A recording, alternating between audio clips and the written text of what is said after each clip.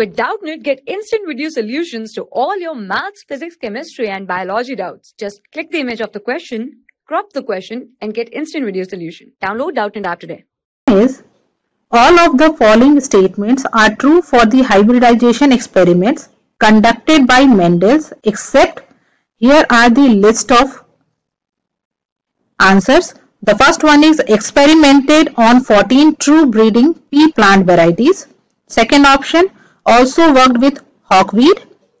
Third, experiments were conducted from the year 1854 to 1861. Statical analysis and mathematical logic were used for the first time in biology. So let's start with the first options.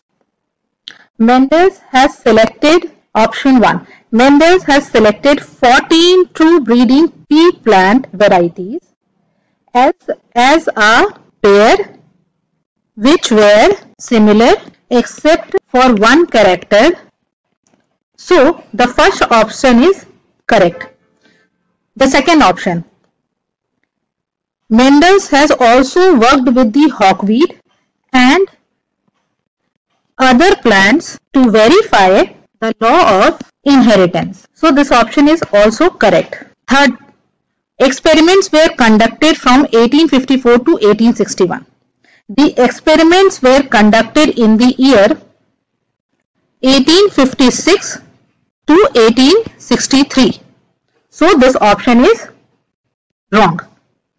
Statical analysis and mathematical logics were used for the first time in biology.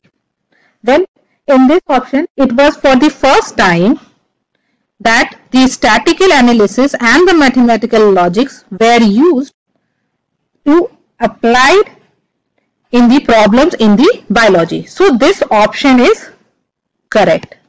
So this statement is wrong statement as it was mentioned that which of the following experiments are true for the hybridization experiments conducted by the Mendels. So first option is correct Second option is also correct and fourth option is correct. The incorrect option is option 3. This is the wrong statement. For class 6 to 12, IIT JEE and NEET level. Trusted by more than 5 crore students. Download Doubtnut App today.